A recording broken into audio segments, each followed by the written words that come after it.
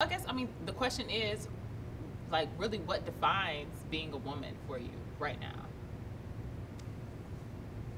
Stare. Yeah, I get quiet. Once again, I was like pushed into being a woman. Good feeling to that, to, to becoming a wife. why it happened this way. How did it become such a devastating event and now be separated? Why does that make me feel like I'm less than?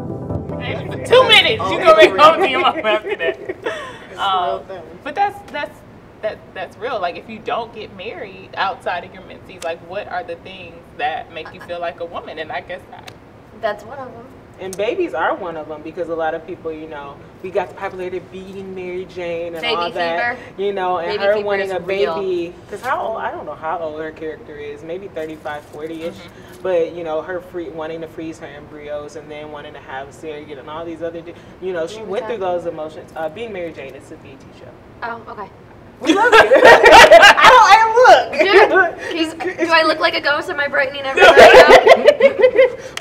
like really like it's a, it's the struggle is real because I mean even my mom she's single um, right now and she's hitting a age that middle age range and she wants to be married and you know at one time I know my mom she'll even talk about it that she wanted to have a son but right now that's something she kind of like does not having a son that's another question does that make you feel less of a woman because even in some cultures and things like that if you don't have no Oh, son just have yeah. all girl children like I have all girl children you're not as desirable as a woman Like you can't yeah, they're give your back in the day. If you couldn't son. give a boy, Right. mm, wow. Even though the man is the person that really determines Yeah. the sex of the child. Wow, that's that's funny. And and so even too, again, if you if that isn't in the picture, if that's something you don't want, if you don't want to be married, if you don't want to have children, what are the things that make you feel like a woman? But so those are things that I do want. But even on this journey, I do feel um, I feel very womanly when I'm when I'm taking care of business in a sense. So when I'm on my stuff, and you're never on your stuff all day. Every day, you will have those days when you want to go wrap in a blanket and rock because you tears come down your face because you missed something or whatever. Um, but think 75% of the time. listen, listen.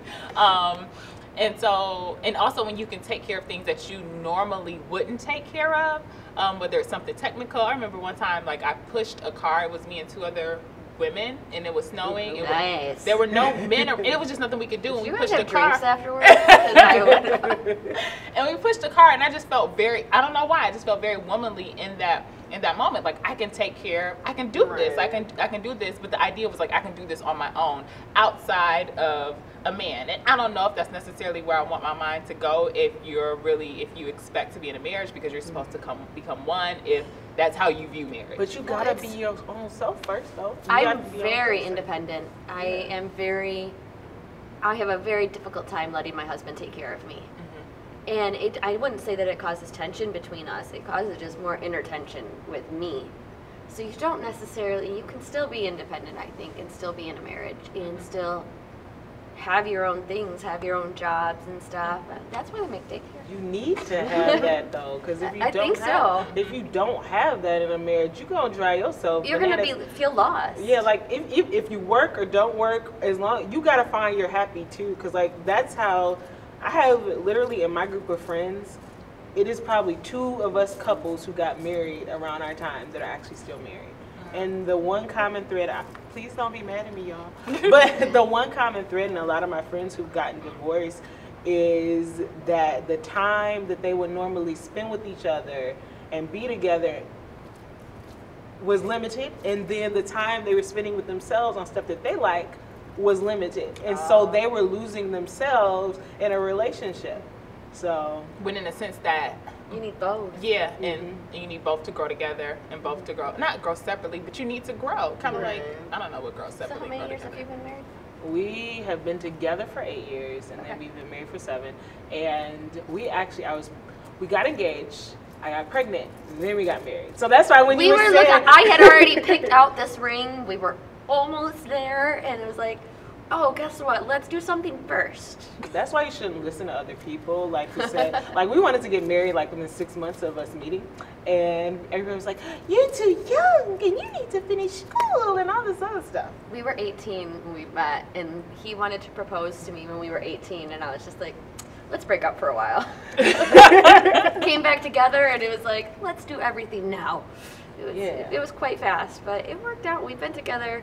We just celebrated our 15th anniversary. Oh, so. wait, I Wow. wouldn't have pictured 15. I thought you were looking I look like 15, so- like 15 years. You got me. That was- We've been together 17, married 15. So.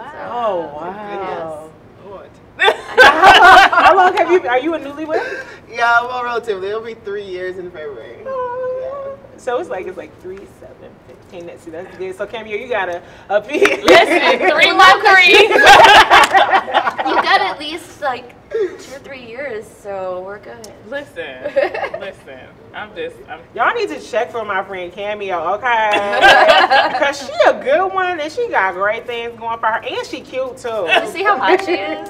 Yeah. but I, I think these are all the things that encompass what it means to be a woman and the things that really come across our mind when we think about how do we define ourselves and where when are we at peace really with where we are in life. And that changes depending on literally where you are whether you're single whether you're a mother whether um, you don't want to be a mother even though you are a mother at any given time um, Could so never happen. listen I, Never.